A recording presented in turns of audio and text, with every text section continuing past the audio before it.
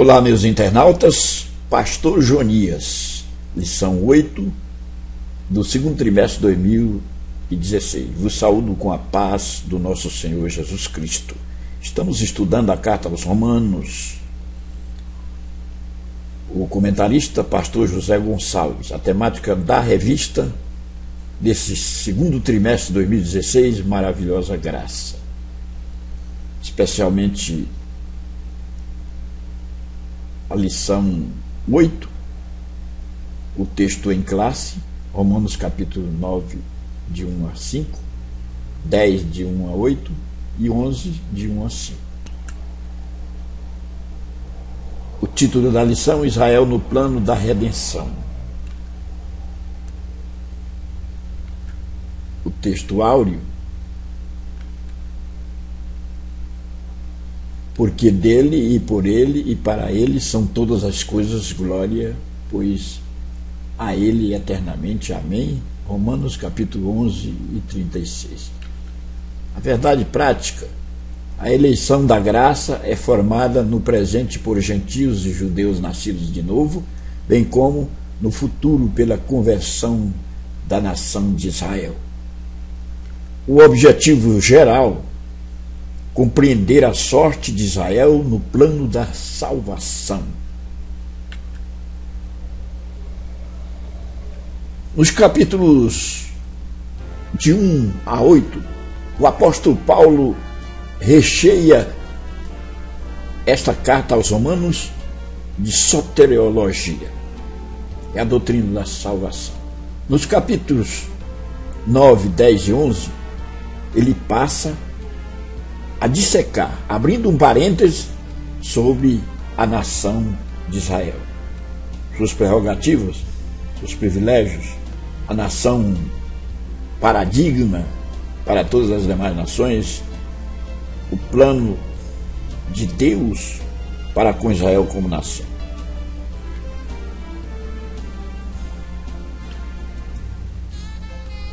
Nesta lição, vamos estudar na primeira parte. A eleição de Israel dentro do plano da redenção. Romanos capítulo 9, de 1 a 29. Nos subpontos, o anseio de Paulo e a incredulidade de Israel. Nos dois, os eleitos e as promessas de Deus. No 3, subponto 3, eleição, justiça e soberania de Deus. Na segunda parte, o tropeço de Israel dentro do plano da redenção. Romanos 9, de 30, 9 e 30 e 10 e 21. Os subpontos tropeçaram em Cristo, tropeçaram na lei, tropeçaram na palavra. Tropeçaram em Cristo, tropeçaram na lei, tropeçaram na palavra. Na terceira parte, nós vamos estudar nesta lição a restauração de Israel dentro do plano da redenção. Romanos capítulo 11, de 1 a 32. E aí nos subpontos Israel e o remanescente Israel e o enxerto gentílico Israel e a restauração futura. Quero nesse momento remeter os caríssimos internautas até o nosso blog, blog dedicado à Escola Bíblica Dominical para adentrarmos nesta lição interessante. Aqui no menu Revista Editora CPAB. Você clicando aqui, você será direcionado para as lições que nós estamos postando é, antecipadamente da revista da Escola Bíblica Dominical. Rolando a página, e aqui nós temos as lições postadas, os links, que da agora para frente sempre eu estarei colocando pelo menos três lições antecipadamente. Aqui a lição 6, 7, vamos lançar agora a lição 8. Vamos estudar. Então, clicando aqui, ela já está lançada aqui e nesse link, clicando, ela se abrirá para estudo. Aqui está a lição textual, verdade prática, o título da lição, Israel no plano da redenção, lição 8, direcionada para o dia 22 de maio de 2016. Portanto, você que não tem revista, você pode acessar nosso blog e estudar a lição. Tem todos os, os elementos disponíveis nessa, nas lições, interação o professor, subsídio teológico, os pontos e subpontos, introdução, conclusão, os objetivos, questionário, etc. Nesse primeiro ponto, nós vimos no rascunho, ali no esboço, a eleição de Israel dentro do plano da redenção, em Romanos capítulo 9, versículos de 1 a 29. O anseio de Paulo e a incredulidade de Israel. O apóstolo deixa explícito a elevada estima que possuía por sua, seus compatriotas. Ele abre o seu coração para expressar seus sentimentos em relação ao seu povo. Romanos capítulo 9, de 1 a 5. Ele desejava que todos, assim como ele, entendessem o plano perfeito da salvação revelado em Jesus Cristo. Esse desejo de Paulo se intensifica quando ele lembra os crentes romanos de que aos judeus foi dada a adoção, a glória, os pactos, a lei, o culto e as promessas. Paulo também os faz recordar que deles, dos judeus, também descendem os patriarcas e o próprio Cristo. Mas apesar de todas essas bênçãos, o entendimento do povo judeu continuava e continua endurecido. Nesse subponto, Paulo mostra, registra os seus anseios quanto a Israel e o desejo que ele teria de que Israel cresce em Jesus Cristo. Os eleitos e as promessas de Deus. O argumento de Paulo em Romanos capítulo 9, versículos de 6 a 13, revela que as promessas de Deus relativas à nação de Israel não falharam, mesmo que a maioria deles as tenha rejeitado. As promessas terão seu fiel cumprimento através dos judeus remanescentes, dos gentios que abraçaram a fé e do Israel que será restaurado no futuro. Essa porção das Escrituras é uma das mais debatidas entre os teólogos. As posições se polarizam quando o debate é entre determinismo e livre escolha. Todavia, Paulo não está se referindo à eleição individual, mas coletiva. O exemplo dos irmãos Jacó e Esaú, dada para ilustrar o argumento do apóstolo, deixa isso evidente. Romanos 9, de 10 a 13.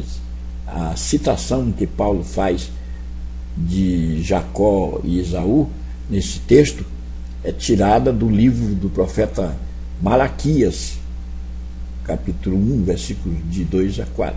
Basta uma olhada nessas passagens para ver que o profeta não estava se referindo às pessoas ou aos indivíduos Jacó e Esaú, que nessa época já haviam morrido há muito tempo, mas a, a grupos ou povos. Isso é demonstrado em Malaquias capítulo 1, versículo 4, onde Esaú é identificado com Edom, um povo e não um indivíduo. Fica, portanto, evidente, à luz deste contexto, que a predestinação é corporativa, isto é, de um grupo, povo ou nação e não de pessoas. No subponto 3, a eleição, justiça e soberania de Deus. Nos versículos 14 a 29 do mesmo capítulo 9, Paulo responde às indagações sobre a justiça de Deus e sua soberania. Deus não poderia ser acusado de ter sido injusto com Israel por eles se acharem no estado em que se encontravam. Paulo toma Faraó para exemplificar sua argumentação. O apóstolo afirma que o endurecimento do coração de Faraó ocorreu quando este resistiu à vontade de Deus. Está registrado em Êxodo, capítulo, capítulo 7, versículo 14, 22 e também o capítulo 8, versículos 15, 32 e o capítulo 9 e 7. Da mesma forma, Israel foi endurecido porque não aceitou a justificação que lhe foi dada através de Jesus Cristo. O exemplo extraído da metáfora do vaso do oleiro serve para fundamentar mais ainda a argumentação em favor da justiça e da misericórdia de Deus. O argumento determinista que vê os vasos de ira e vasos de misericórdia como sendo uma referência aos salvos e condenados, cai diante da exposição do próprio texto. Deus suportou os vasos da ira e eles se tornaram por si mesmos objetos da ira de Deus, mas os vasos de misericórdia participarão da glória de Deus através da fé, pela graça de Deus e não como resultado da, das suas próprias obras. A síntese do tópico: Deus, em sua justiça soberania, escolheu Israel para fazer parte do seu plano redentivo. Nós vamos passar agora para o segundo ponto, ou seja, a segunda parte, o tropeço de Israel dentro do plano da redenção. E o texto é Romanos 9, de 30 e 10, 21. Vamos ver aqui os tropeços. Tropeçaram em Cristo, partindo do princípio de que a, a igreja de Romano era formada em sua maioria por gentios, a parte judaica teria dificuldade de entender por que os gentios haviam sido aceitos por Deus, enquanto a maioria dos judeus não. Paulo argumenta que o tropeço de Israel se deve ao fato de, de não terem crido em Jesus, o Messias prometido. Romanos 9, 30 a 33. O que deveria ser solução para eles tornou-se em tropeço. Por outro lado, os gentios, ao crerem na graça de Deus, foram justificados, visto que a sua justificação veio em decorrência da fé e não dos seus méritos. Tropeçaram também na lei. Nesse ponto, o apóstolo realça algo que ele já vinha argumentando desde o capítulo 3. Os judeus, ao buscarem a sua justiça própria através da lei, acabaram por rejeitar a justiça de Deus que vem através de Jesus Cristo. Romanos 10, de 1 a 4. Querer agradar a Deus, segundo os preceitos da lei, era andar na direção errada, visto que Cristo é o fim da lei. Romanos 10, 4. Subponto 3. Tropeçaram também na palavra. O Evangelho de João já havia mostrado que Jesus veio para o que era seu, mas os seus não o receberam. João 1 e 12. Aqui Paulo mostrará que a rejeição de Israel aconteceu não por falta de aviso, mas porque não quis ouvir aquilo que Deus havia planejado para ele.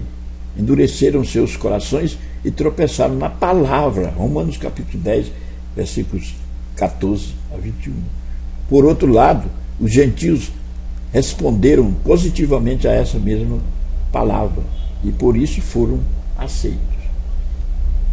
Síntese do tópico 2: o tropeço de Israel não invalidou o plano de redenção de Deus para com seu povo. Ponto 3, ou seja, a terceira parte, a restauração de Israel dentro do plano da redenção. O texto básico, Romanos 11, de 1 a 32. Devo dizer-lhes que nessa lição nós estamos abarcando os capítulos 9, 10 e 11. O subponto 1, Israel e o remanescente. Os teólogos chamam a atenção para a importância que a doutrina de um remanescente possui dentro da cultura judaica. Romanos 11, de 1 a 10. De fato, os profetas que se levantaram contra a apostasia e o formalismo religioso acreditavam que Deus tinha reserva formada por aqueles que eram fiéis. Atos 2, 12, 5, e 3, Isaías 1 e 9.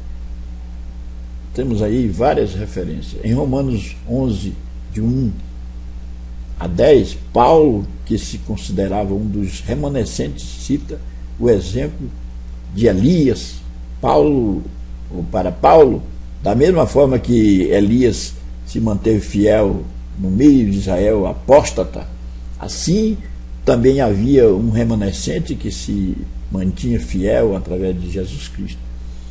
Subponto 2, Israel e o enxerto gentílico. Israel não conseguia, ou não conseguira entender que o plano de Deus para a salvação incluía também os gentios. Isaías 9, 6. Tropeçaram ao não aceitarem a justiça de Deus manifestada em Jesus Cristo. Foi gra graças a esse tropeço, argumenta Paulo, que os gentios entraram como um enxerto no plano da salvação. Os gentios, portanto, não deviam assumir uma posição de orgulho, mas de temor. Eles não eram os ramos naturais, mas fazia parte da oliveira brava. Romanos 11, de 11 a 24. Se Deus não havia poupado os ramos naturais, muito menos pouparia os ramos enxertados. Subponto 3, Israel e a restauração futura. Texto básico aí, Romanos 11, de 25 a 32.